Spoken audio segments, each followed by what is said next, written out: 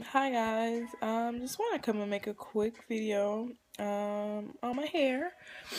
Just pretty much want to give like the pros and cons of doing the two strand twist method, starting method. Um, initially when I started my locks, I didn't plan on actually starting him. I just did my little protective style, which was the two strand twist, because I was natural prior to me locking my hair for about what four or five years. Um, so yeah, um, I love the fact that I started with two strand twist because I feel like it made the process and the journey a little easier for me. Um, I think if I would have started with any other method, I would have probably gave up.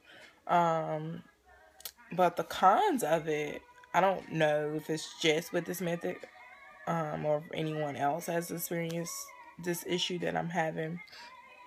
Um, I'm learning to just kind of let it do what it do, but I'm gonna show you this here, like the ends.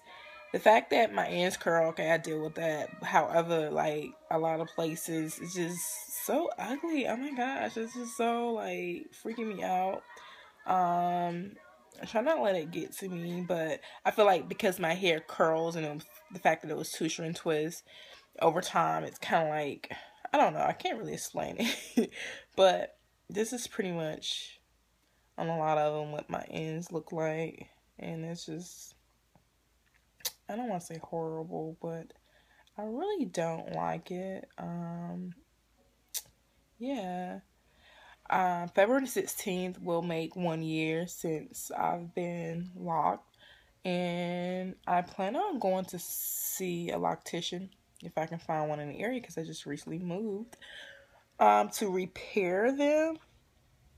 Because at first I was like, oh, I'm just gonna let it do what it do, and I'm just like, you know, because they're my little babies, and it's like, okay, I started it on my own. This whole journey, I pretty much did it on my own. There was like maybe two times I allowed somebody else to retwist my hair. It wasn't like necessarily professional or anything like that, but um, yeah, I think it's time to just give it a little more love and care because I really just don't like some of the ends as you can see like this. I don't know. But yeah, um my whole thing is trying to get my ends tamed. So if you guys have any advice or how I can handle this because I I get scissor happy. So for me, I would kind of like this right here, chop that off. Um, like the other day, I actually took some scissors and kind of cut some stuff. Like, yeah. Um, anyways, I'm trying to. I recently color my hair. I don't know. I probably have a lot of stuff on my bed, so I'm really like doing a lot right now. But it's plum. Try to give you a look at that.